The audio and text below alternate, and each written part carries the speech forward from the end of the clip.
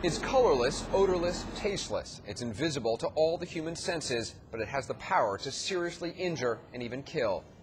Once exposed to carbon monoxide, it seeps into your lungs with every breath you take, making its deadly way into the air sacs of your lungs where it binds with hemoglobin, the red blood cells that carry oxygen through your body. The problem is carbon monoxide latches on to hemoglobin more quickly than oxygen, and it starts taking over. On the most basic of levels, your cells are literally suffocating. Within minutes, a person can feel flu symptoms, such as headaches, sore eyes, and a runny nose. Once it attaches to 10 to 15 percent of the blood's hemoglobin, you feel dizzy, confused, and achy. At 30 to 40 percent, a person becomes drowsy, lethargic, and slips into a coma. At 60 to 70 percent, it's fatal. According to the CDC, about 500 people die each year from accidental carbon monoxide poisoning.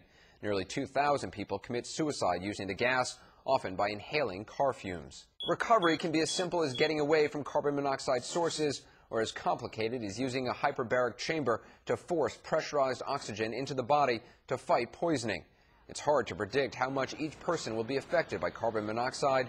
It all depends on how much is in the air, how long, and how hard someone breathes it in.